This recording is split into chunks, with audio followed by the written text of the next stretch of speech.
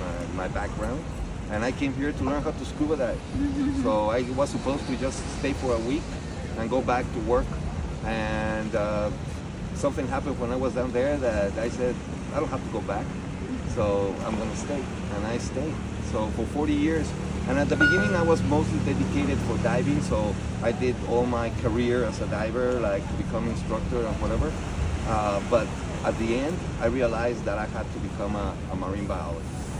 So I went to United States and I went to Nova Southeastern University and I did a master's degree in marine biology and I specialize in corals. And I came back to Cozumel with that. At the beginning, I come over here and I was just checking the corals but not thinking of doing what we're doing now. But when I was working in the dive school, one of the instructors uh, went to where I had planted a coral and he grabbed the coral and broke it. And he says, why are you planting corals? And in that moment, Cozumel Coral Reef Restoration was born. And from that moment to now, we have planted more than 10,000 corals. So, you know, it was the motivation of why, why we are the ones who are enjoying this, the ones that we are making money from it, we're not the ones that they are more responsible to protect the reef. And we have to teach them that without this, they won't have the money that they are having. So it's better to the of the golden eggs instead of just trying to get out everything and kill it just because. Over those 40 years, how have you noticed the reefs change?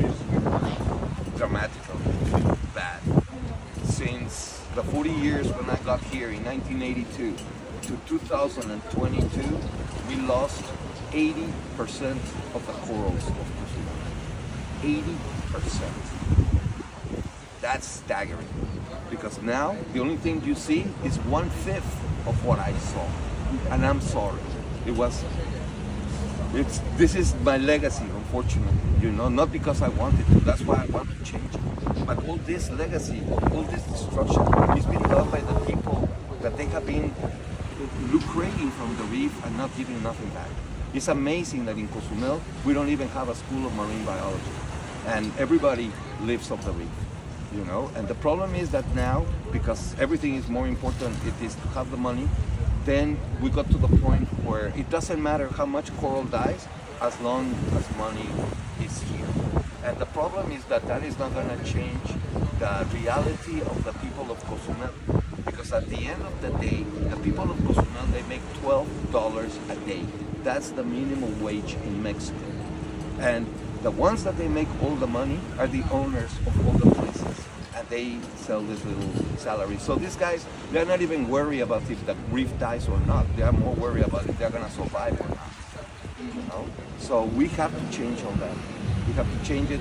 The, the dive masters, they have to be more aware that if they lose this, it's gonna be forever.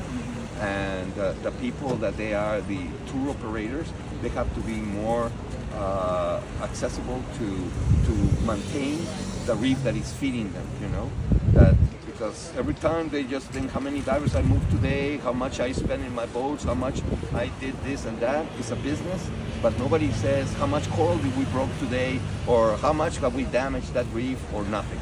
You know, and if we don't change that, then the future is not going to be good. How has the cruise ship industry contributed to that decay? the cruise ship industry has changed my life in the sense that I was a diver, a happy diver living in Cozumel up until 94. And when they built that pier, in that moment we were marching in the streets saying, don't build a pier there. And they told me, but you're just a veterinarian. You don't know anything about corals. And that's when I said, I'll be back. And that's when I decided to go to the United States and study there to become a marine biologist and come back and say, now I know. Now what are you going to do about it? You know? And unfortunately, things haven't changed. They think the same way. But now we are uh, that flare of hope that we're putting in the water by making the people be more appreciative of the corals and what easy it is for us to maintain them alive, you know? And we spend a lot of money to go to the reef and blow bubbles over there, but nobody spends some time to say, thank you, reef, let me go and clean a little bit and see that you are better for the next time I come. Marching in the streets to protest the pier. What's the history behind that? Well, the history is that they built a pier. Yeah. You know, the, it was it didn't matter. Now you want to know more? Here, exactly where you were diving today, they want to build another pier Yeah. on top of the corals that you Yeah. were cleaning today. Yeah. And now this pier is gonna be 800 yards long, and it's gonna be for seven cruise ships. Mm-hmm. And all the corals that you saw, they may not be here anymore.